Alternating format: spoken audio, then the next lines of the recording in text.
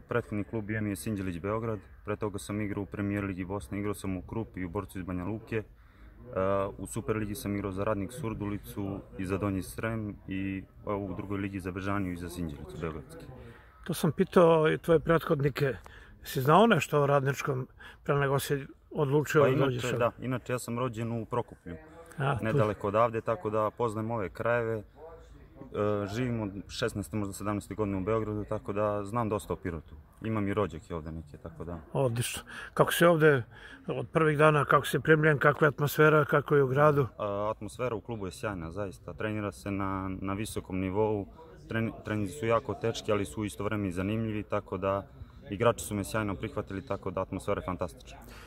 Krenulo je onako kako je krenulo. U Jagodini ste već pokazali da može da bude e, veoma dobro. Šta očekuješ? Pa ovako, pripremni period, tu su rezultati promenljivi. U prve dve utakmice možda smo se malo tražili, ekipa je nova, dosta novih igrača je došlo, tako da idemo korak po korak, onako utakmicu po utakmicu, spremamo se, pripreme idu jako dobro i mislim da do početka prvenstva 3. augusta to će biti na jako visokom nivou, jako dobrom nivou. Znaš otprilike ekipe gde je naša vrednost u plasmanu? E, Pa ovako, ne treba srljati sa očekivanjima. Sigurno. Mislim da treba ići korak po korak, utakmicu po utakmicu. Znači prvenstvo to kreće 3. augusta, koliko sam čuo ima 22 do 23 utakmice u prvom delu.